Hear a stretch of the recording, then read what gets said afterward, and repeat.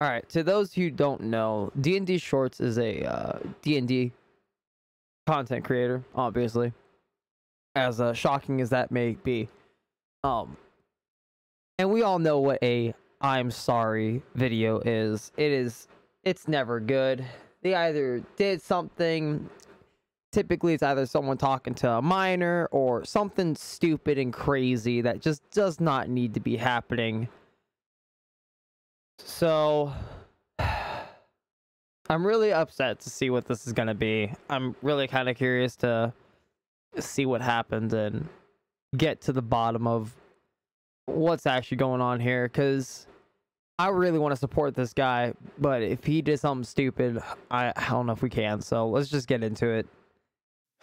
So, as many, I know most of you already know this, but recently there's been uh, one very serious accusation that, that has come out publicly about me, and I thought a lot about how how best to do this because when there's a when there's a narrative like this, it, it often just goes completely out of control, and it, it feels like no matter what you do, you, you're gonna kind of only make it worse.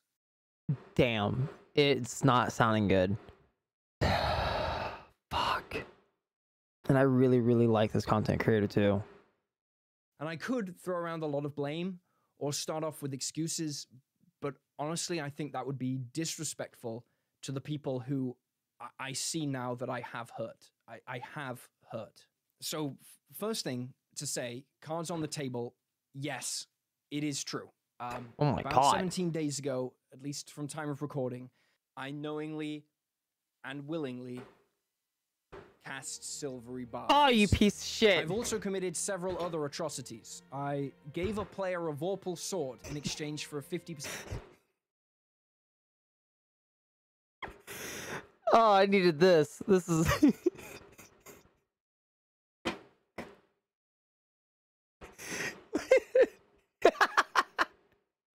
could you? Could you? Oh man, that is that is top tier. That is top tier. I knowingly and willingly. Dun dun dun. Cast silvery barbs. No! Sent off pizza coupon. I killed a beloved NPC because Oh. I panicked and forgot their name. I counterspelled a player. whose A beloved NPC whose name it didn't matter. He's dead now. casting Revivify.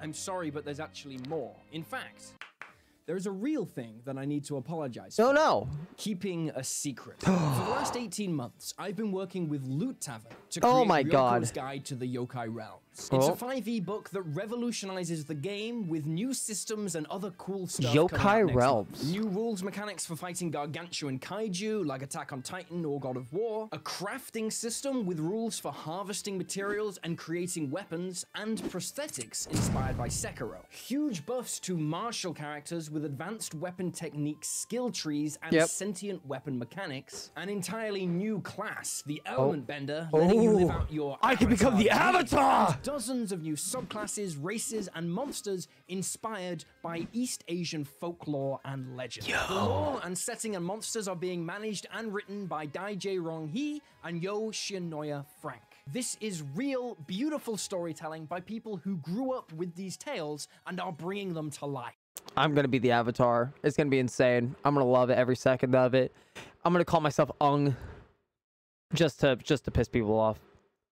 The pre-launch Kickstarter page is now live, and if you sign up there now, you'll get access to this beautiful free dice set when the Kickstarter launches. The Kickstarter page is linked here and is also in the description. Sorry for I'll link it down in the description the as well. stuff, but it's official, and I'll be dropping more information nearer the time. I hope I didn't freak you out too much near the beginning of this video, um, but yeah, stay tuned, and I'll see you next time. Well, that definitely went a completely different direction than what we're used to. So, thanks for watching, guys. I'll see you guys next time. Uh, go and uh, give them some support. Uh, subscribe to this channel. Links will be down in the description. Peace.